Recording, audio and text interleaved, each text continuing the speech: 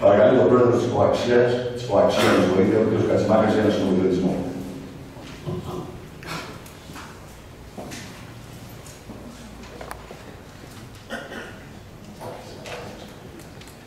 Καλημέρα σας.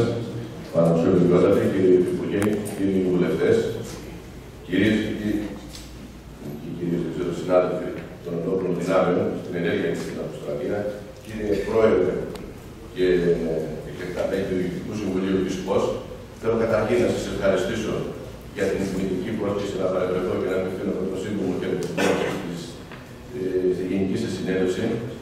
Και να πω καταρχήν ότι αποτελεί πραγματικά την εξαιρετική τιμή για προσκεκλημένο να απευθύνεται σε ανθρώπους, σε στελέχη, οι οποίοι λάφρυναν και τίμησαν με την πολιετή υπηρεσία τους στι ένοπλες δυνάμεις της πατρίδας μας. Και που σήμερα αποτελούν τους ακάματου αγωνιστές, κοινούς συμπαραστάτες και συνδιαμορφωτέ ενός κοινού αγωνιστικού μετώπου που έχουμε ε, από κοινού, αγαπητέ Πρόεδρε, όλα αυτά τα χρόνια συμπτύξει για να αντιμετωπίσουμε τα κοινά, όπως είπες και εσύ, προβλήματά μας.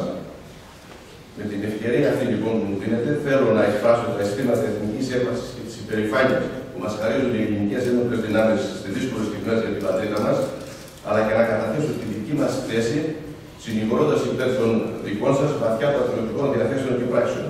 Η κυβέρνηση πρέπει εν της πράγματι να αποδείξει το ενδιαφέρον για την ενίσχυση της αποτελεσματική αποστολής των στρατιωτικών μα σωμάτων, δίνοντας βαρύτητα τόσο στο ανθρώπινο δυναμικό της, που είναι είτε στην ενέργεια είτε στην αποστρατεία. Θέλω ακόμη να επιβεβαιώσω την αγώνικη πίστη στη συνεργασία των Ομοσπονδιών μας στο κοινό αγώνα που έχουμε όλα αυτά τα χρόνια, ιδίως τα μνημονιακά χρόνια από κοινού συμπτύξει, προκειμένου οι διεκδικήσεις μας και κυρίως ο σκοπός που έχουμε να υπάρξει επιτέλου συμμόρφωση της κυβέρνησης στις αποφάσεις του Συμβουλίου της Επικρατείας να γίνει πράξη.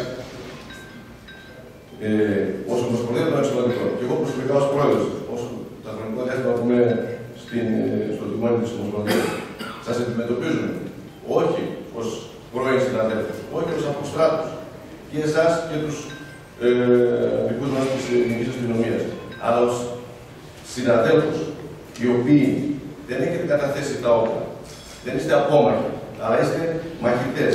Είστε μαχητές της ζωής, οι οποίοι δεν έχουν κλειστεί στα σπίτια τους και που συνειδητά πλέον ασχολούνται με τα κοινά και για το κοινό συμφέρον και από τους οποίους όλους εσάς, εμείς οι νεότεροι, μπορούμε να αντλήσουμε πολλά θετικά στοιχεία.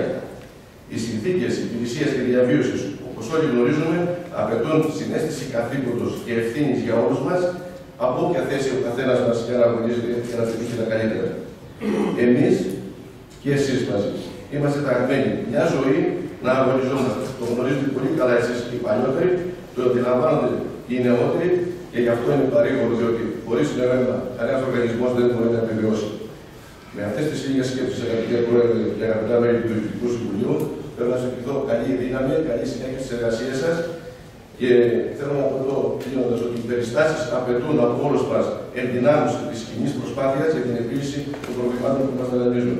Μπροστά μας έχουμε μια νέα δύσκολη αγωνιστική χρονιά και είναι στο χέρι μας και αυτό θα πράξουμε να συνεχίσουμε την αγαστή συνεργασία που έχουμε όλα αυτά τα χρόνια, ώστε να πετύχουμε και προσδοκώ να το πετύχουμε ειδικά από φέτος που υποτίθεται ότι βγαίνουν από τα μνημόνια που έχει η κυβέρνηση, επιτέλους κάποιου τους στόχου που όλα αυτά τα χρόνια έχουν θέσει. Σας ευχαριστώ πολύ. Έχετε τεράστια χαρά.